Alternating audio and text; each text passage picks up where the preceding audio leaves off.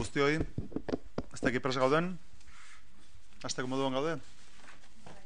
Bai, oso ondo. Bueno, ba, egunon berriro, deskarri asko, etorritzaretelako prentxaurrekora.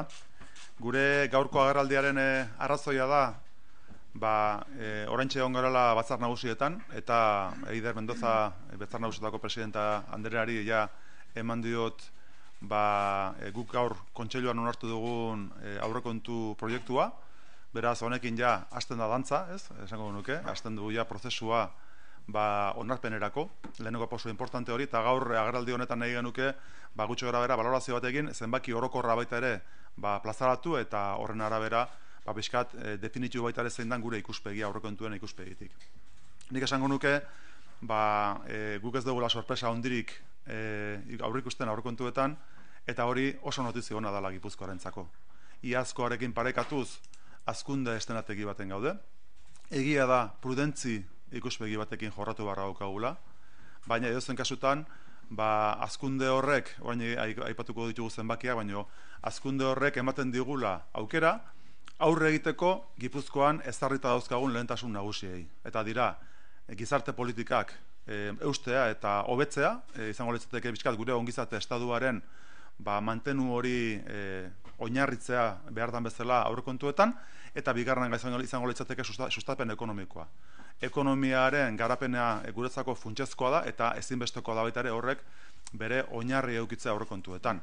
Besteak beste, aipatuko ditu gero, gero gehiago, baina edozen kasutan gure partetik behintzat, hasteko importantea da hori azpimarratzea. Ez Gipuzkoak etorkizunari begira dozkan apustu nagusietarako, aurrekontu egoki badala. Eta horrek esan nahi du da, kantitate ekonomiko ikuspegitik eutxi egingo zaiela markatu ditugun apustu nagusiei.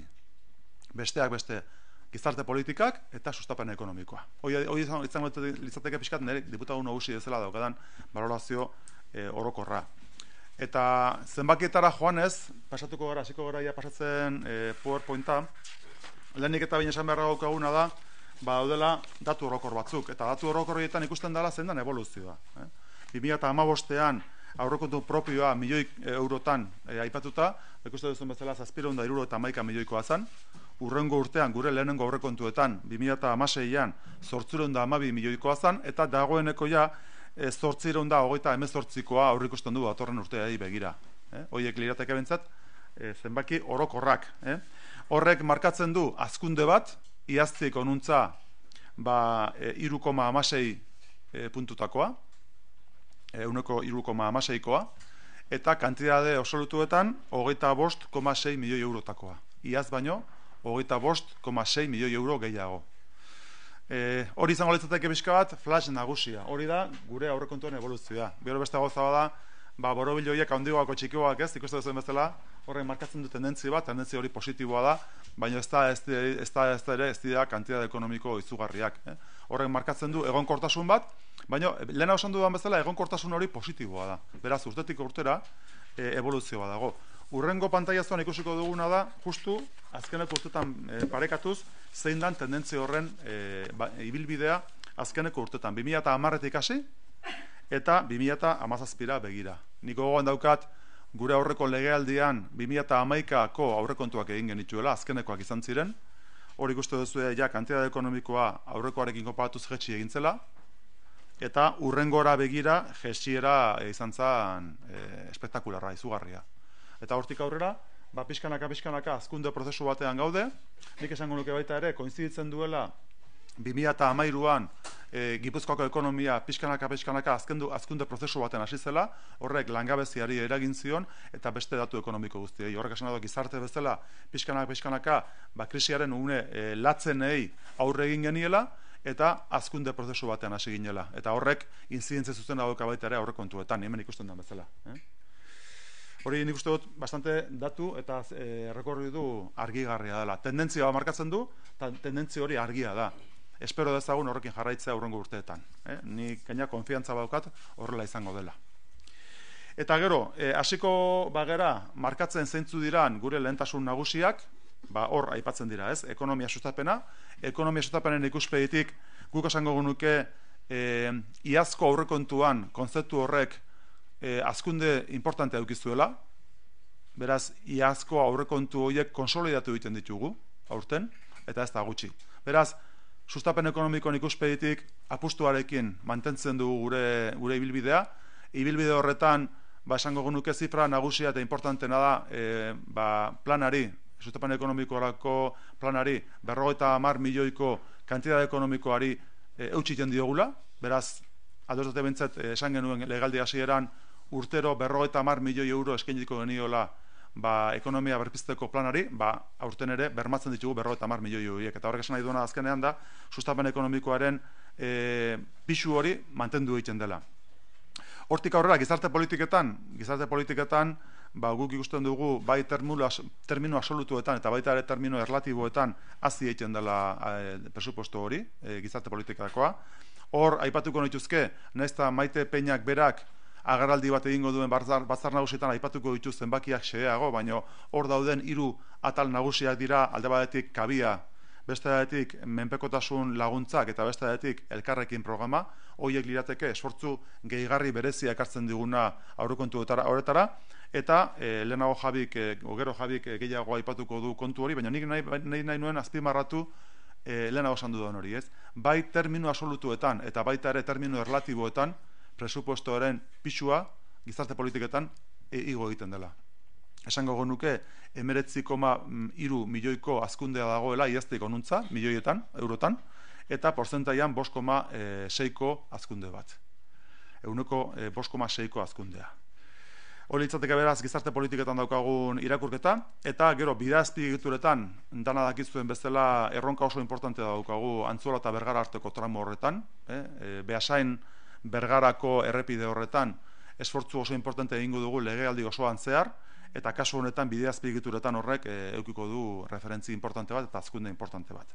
Eta gero beste programa bat, guretzako kualitatiboti oso importantea dana, ikusten dugulako, i, aurreko urtetatik e, onuntza esfortzu gehigarriak egiten ari gerara, hori izango litzateke iruzurraren kontrako burrokan. Hor, e, esaten dudan bezala, kantidade ekonomikoak importanteak izan ere guretzako kualitatiboki da oso importantea. Ikusten dugulako gobernu hau esfortzu berezi bat egiten ari dela hortan eta e, horregatik aipatu dugu e, kontzeptu nagusi bezala.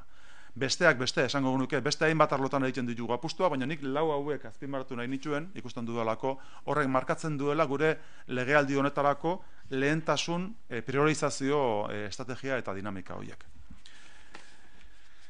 E, bueno, erderera pasata, yo eh, haría una valoración general que luego Javier se encargará de llevar a los números ya eh, presupuesto por presupuesto desde, el punto de vista de los, de los, departamentos. En todo caso, a mí sí me gustaría subrayar una cuestión y es el hecho de que estos presupuestos se enclavan dentro de una trayectoria ascendente desde el punto de vista económico. Lo hemos visto también en los números generales, pero eh, mirando desde la perspectiva más o menos del año 2013, este territorio y el conjunto del país, estamos eh, desde el punto de vista de eh, las empresas, desde el punto de vista del tejido económico, en un, incremento progresivo, muy prudente si queremos y, mm, sin lanzar las, campanas al vuelo, pero sí en, una trayectoria ascendente, que eso evidentemente también tiene una incidencia directa en los, en los recursos eh, disponibles en la medida en que eh, la recaudación se incrementa y, eso eh, beneficia al conjunto del sistema. Pero en esa trayectoria ascendente, la Diputación de Guipúzcoa ha establecido una serie de prioridades y lo hicimos ya desde el principio esta legislatura. Las prioridades tienen que ver con el mantenimiento del estado de bienestar en el territorio de Guipúzcoa y la apuesta por la promoción económica. Y son las dos patas de toda nuestra estructura. Y evidentemente en la medida en que hemos priorizado esas dos cuestiones, que luego eh, citaré algunas otras, pero fundamentalmente quisiera subrayar esas dos, eso significa que estamos estableciendo el marco general de la legislatura. Y tenemos unos presupuestos suficientes y adecuados para mantener esa apuesta, que para mí es una magnífica noticia. El hecho de que eh, la suficiencia presupuestaria nos permita continuar con las apuestas que estamos realizando en el territorio. Y eso eh, evidentemente traslada muchísima estabilidad financiera a un escenario que ya tiene una estabilidad política importante. Con lo cual, esta legislatura, eh, en el segundo presupuesto de esta legislatura, marcamos tendencia para el conjunto de nuestra andadura. Y yo creo que, evidentemente, eso va a significar que continuaremos, evidentemente, con eh, el incremento tanto en peso absoluto como en relativo del presupuesto de política social. Eso, evidentemente, esos 19,3 millones de euros de más con respecto al, presupuesto anterior marca también la tendencia en política social.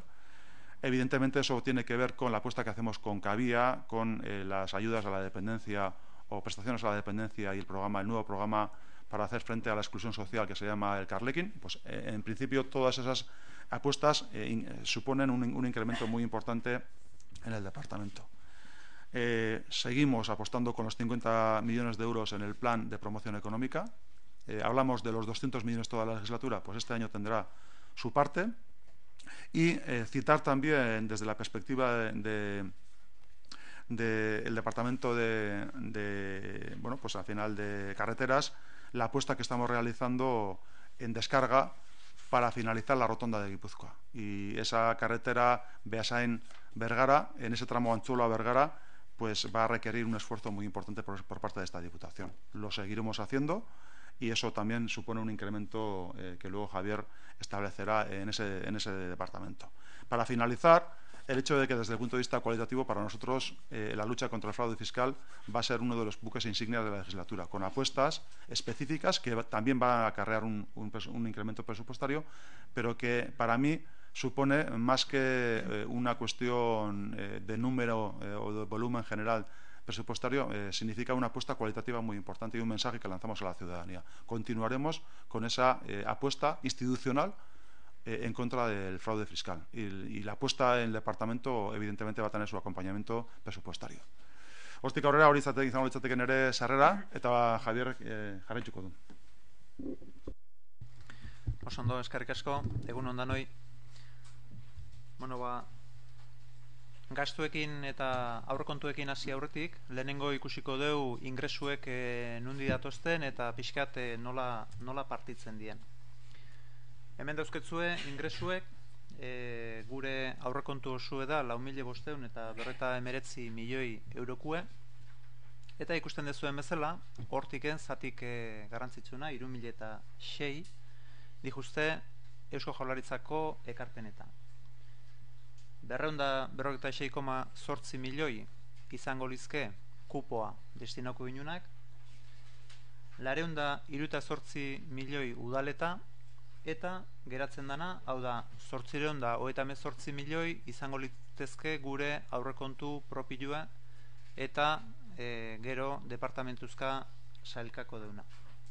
Baina, departamentuzka sailkako aurretik, esan, e, sortzireun eta hoeta sortzi horiek, era berien bitan zatitzen diela. Hau da, alde batetik dauzkeu zazpireun da iruta meretzi milioi, hor ikusten dezuen bezala, guk kudeatuko ditugun e, e, partidak, hau da, e, departamentuek kudeatuko ditugun e, aurrekontue, eta bestaldetik dauzkeu hile berrota meretzi milioi euro karga finantziero bezala. Bai? Beraz, oain, departamentuz departamentu ikusiko deuna da, zazpireun da iruta meretzi milioi horiek nola sailkatzen dien. Esan baita ere, hemen zazpiron da iruta meretzi milioi hauetan, daola beste euneko bat batzar nagusitako aurrekontue dana, beraz, e, hemen ikusten deuna da, e, hemen ikusten deunai, gehitu behar di jau, batzar nagusien euneko bat hori. Eta hemen dauzkeu departamentu danak. Hemen, baita ere, 2008ko datuekin konparatu alizateko, e, berri, bueno, mejora bat sartu dugu eta mejora hori da izfeko e, aurrekontuen kinze ikusile daukena. Oain arte, izfeko aurrekontuen izfe dakizuen bezala da e, gure informatika zerbitzuek ematen dizkiun e, soziedadie, geure perimetruen daun soziedadie, eta horko aurrekontu zati bat, eiten zan, distribuiten zan, e, departamentu ezberdinen artien, era gure ustez, e, ba igualez, e, eokilena edo behintzat, e, pixkat nahasteko e, bidiek irekitzen zituna. Beraz, erabaki deuna da, izfeko hori, ba, baita ere aurrokontuek danontzako, bai guretzat eta bai zuentzat argigarri jo izateko, e, zentra ditugu danak gobernantzako departamentuan. Zergatik gobernantzako departamentuan, ba, izfe e, departamentu horren barruen sailkatzen dalako. Beraz, lehenengo kolumnan, lehenengo zutabien ikusten dezue 2008ko aurrekontue, eta bigarrengo e, zutabien daukeuna da ajustiek. Hau da, departamentu danetatik ketzen da izfeko e, aurrekontu zati bat, eta zentratzen da dana gobernantzan. Bai? Eta hirugarren zutabien daukeu 2006 ja izfe ajustaute. Hau da, 2006 normalizauta. E, hemen jarri nahi izan dugu, e, gero ondo konparatu alizateko 2006ko eta 2017ko datuek. Beraz, ikusten dezuen bezala, eta e, izan berdu bezala, zazpireun dago eta mezortzi milioi die, baina e, departamentuen sailkapena pixka-pixkat aldatu inda. Guk beti, gero, konparaketan erabiliko ditugu dato e, konparagarriek, bai? Baina, baina igendun esplikau, izfeko ajustea. Guretzako, mejora bada eta bueno, ba, mejorak identifikatzen ditugun einien ba, implementatzen eta aplikatzen jun behar dugu. Beraz, hirugarren zutabia daukeu 2016 izfeko ajustiekin, hau da 2016 normalizatua eta laugarren zutabien daukeu 2017ko aurrekontua.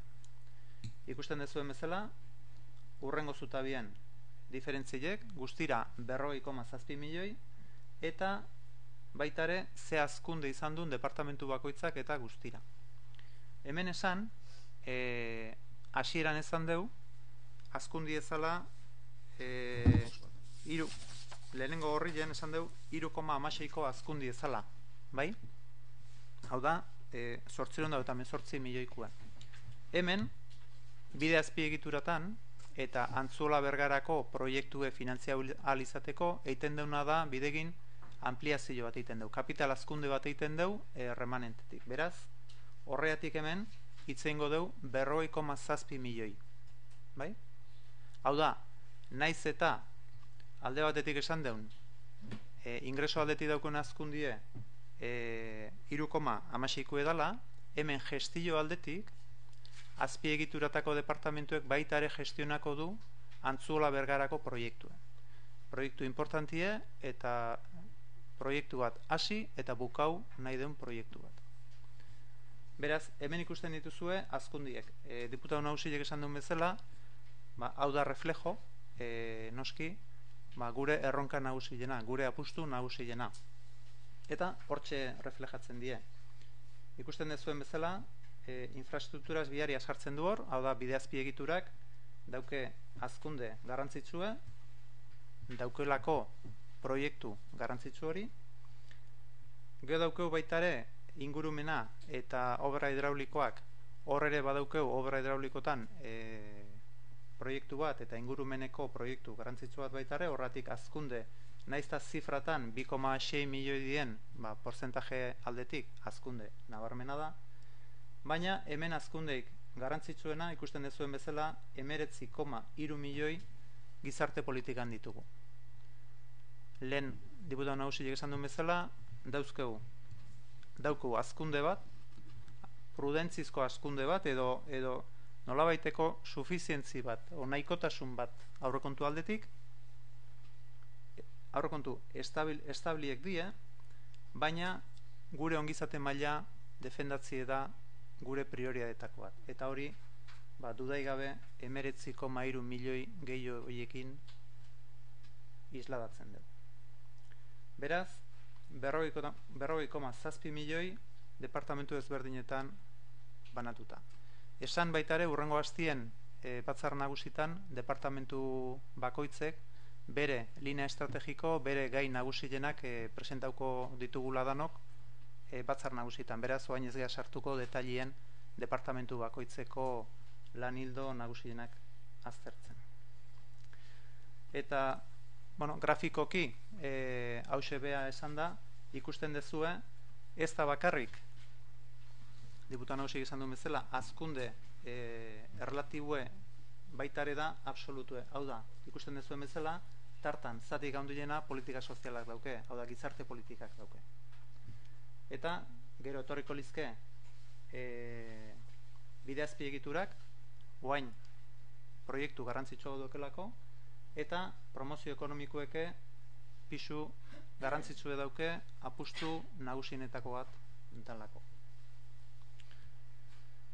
Eta hau litzeke bizkat, e, bueno, ba, departamentuz departamentu, e, bakoitzen lineatan asko sartu gabe, hori urrengo hastien esplikauko deulako, baina, baina bai, ba, garbi reflejatzen duna zein dien gure prioridadiek, eta nolabait e, dauzkaula aurrekontu batzuk gai dienak gure apustu eta erronka nagusiei aurreiteko, baina era bertan ongizate maila eta sustapen ekonomikue mantentzeko.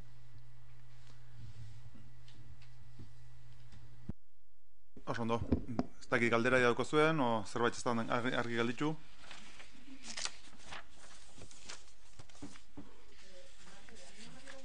Sí.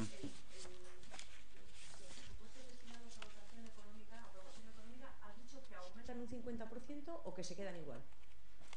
No, yo lo que he dicho ha sido que nosotros establecemos una cifra de 50 millones de euros anuales para eh, dotar eh, al plan de promoción económica del departamento, de revitalización económica. es, nosotros ya dijimos cuando presentamos el plan que iba a tener un destino de 50 millones de euros anuales, 200 en, en el conjunto de la legislatura, y la cifra de los 50 va precisamente a eso, a 50 millones. Lo que decíamos era que el año pasado ya tuvo un incremento muy importante el Departamento de Promoción Económica y que nosotros hacemos, lo que hacemos es consolidar ese dato. Y con eso tenemos suficiencia económica como para mantener la apuesta de promoción económica. En la medida en que dotamos esos 50 millones y mantenemos ese departamento perdón, bien financiado para hacer frente a esa apuesta. ¿eh? Pero los 50 iban más dirigidos a los 50 millones que, que destinaremos esta legislatura anualmente eh, a ese plan.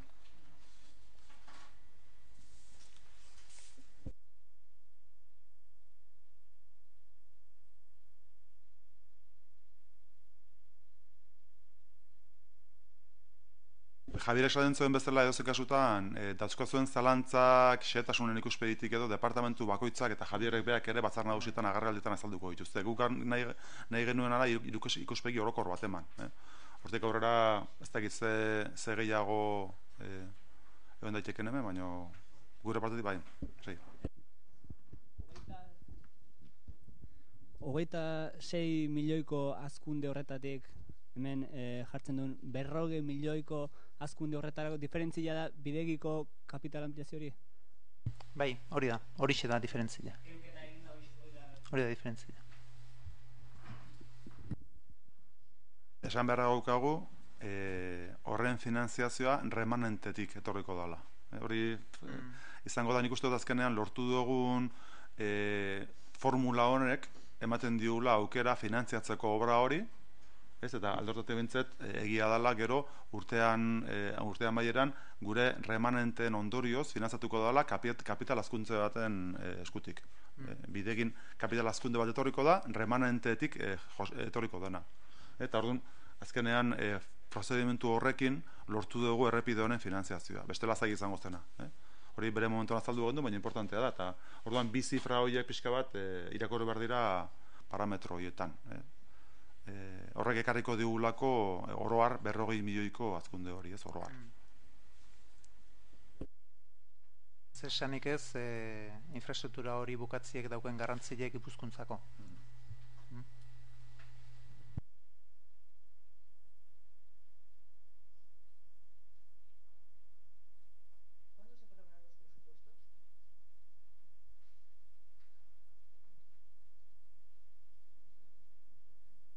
Sí. Eh, mediados de diciembre. Sí.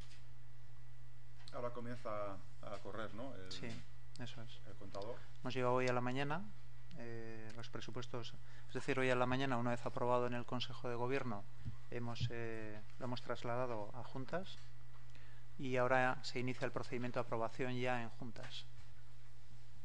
Es decir, que eh, por lo menos hemos puesto en marcha, eh, seguramente ya está en manos de, el, pendrive ya está en manos de cada grupo parlamentario, todos los grupos parlamentarios de, en juntas.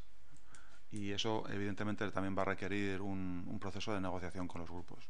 Desde la perspectiva de que tenemos los apoyos suficientes, pero siempre hemos hecho un ejercicio de acercamiento a los grupos y de lograr, intentar por lo menos lograr acuerdos. Porque siempre ha sido nuestra actitud en ese aspecto.